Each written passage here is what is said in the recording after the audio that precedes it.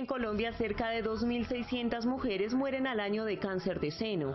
La mayoría de los casos se registran en Bogotá, Cali, Medellín, Barranquilla y Bucaramanga.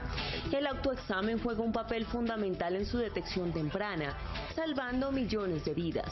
Así que se debe realizar sin falta cada 30 días.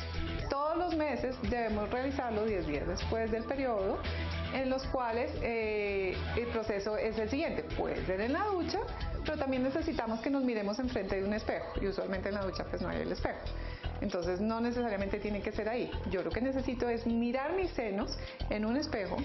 El chequeo se debe hacer con calma y lo más importante es identificar que no hayan cambios en esta zona del cuerpo.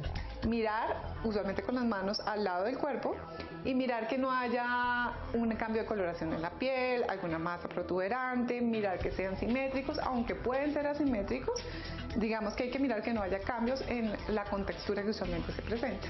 Diferentes posiciones y palpar no solo los senos, también parte de la axila permitirá establecer si existe alguna protuberancia.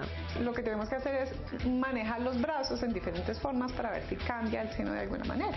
Entonces yo debo colocar mis brazos arriba, mis brazos al lado, mis brazos atrás y apretar sobre la cintura. En ese momento a ver si hay un cambio de los senos con los diferentes movimientos.